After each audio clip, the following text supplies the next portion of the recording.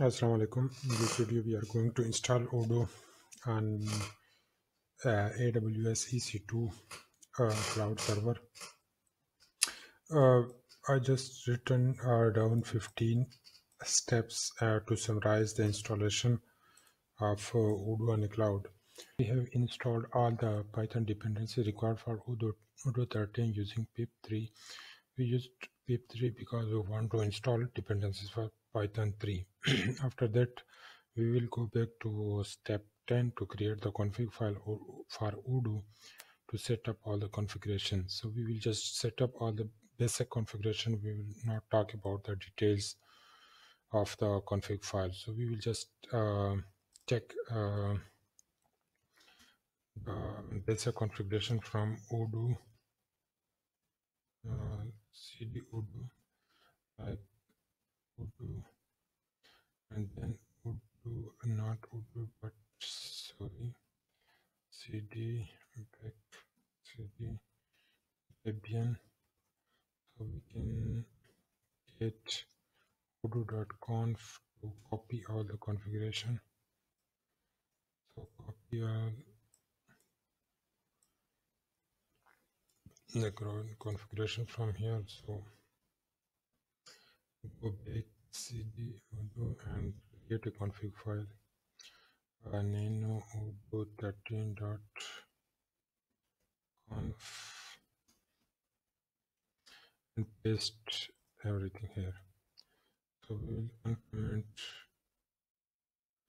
so we'll just define here what you want to do is to copy Odoo 13 Odoo and then we will uncomment this and get the password for uh, a Postgres user. It was Odoo 13 and user was Odoo 13 we will keep this it is so let's save this and so what is the let me check if it's created uh, successfully right. So what is the next step next is to create a config file inside this path. So what we will do we, so we will uh, as uh, you know uh, we are an Ubuntu 13 user so we uh, we will have to switch this user to Ubuntu. So Ubuntu is a super user therefore uh, the reason behind this is uh, that we have installed supervisor as a uh, super user and the directory created uh, for config file is under super user. So we cannot create it on, uh, for again so we cannot create it for Odoo 13 because Odoo 13 don't have access to config directory so first we will have to switch user back.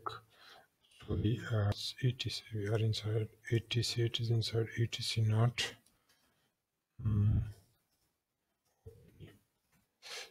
Just and uh, get know the 13 dot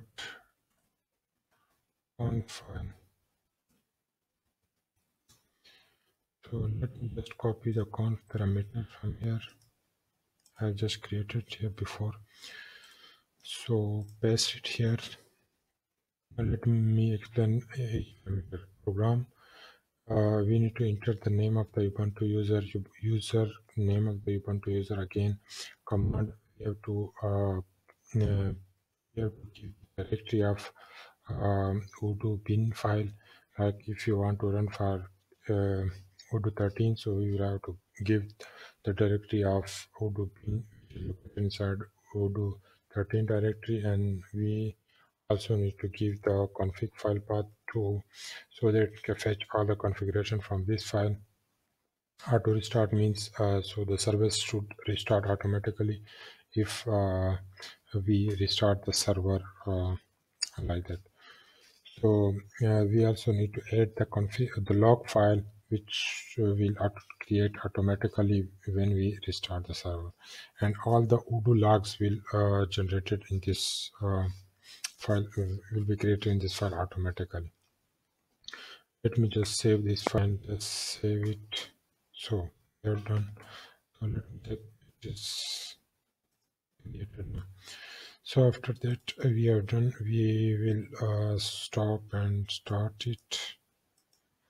Mm, this is not to start and stop the Odoo but the supervisor uh, system suitable units uh, automatically sorry. Let me just use so use uh, like receptor and then need to um, start the uh, supervisor service uh, using this command sudo service supervisor start.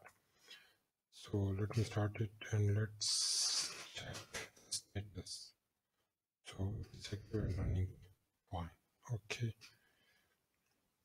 That's great. So let's so let me run this command. Mm, the role uh, instance will, uh, will not service will not add no because I have already done this command and the ser Odoo service already added uh, and linked. So mm, this will return no config updates. So if there is any new uh, config file available to be linked then uh, it will be added uh, automatically. Uh, so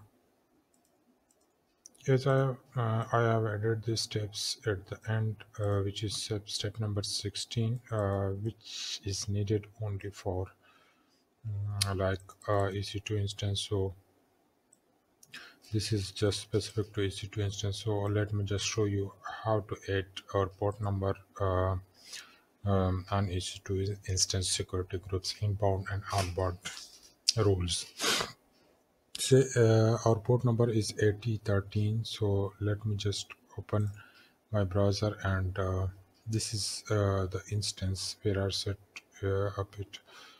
So let me just open the groups and uh, click action.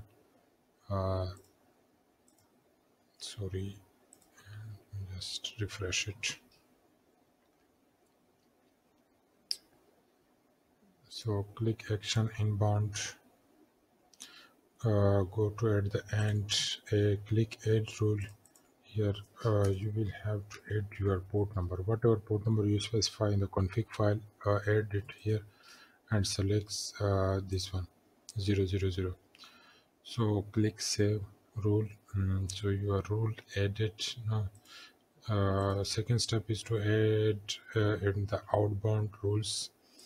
Uh, click add.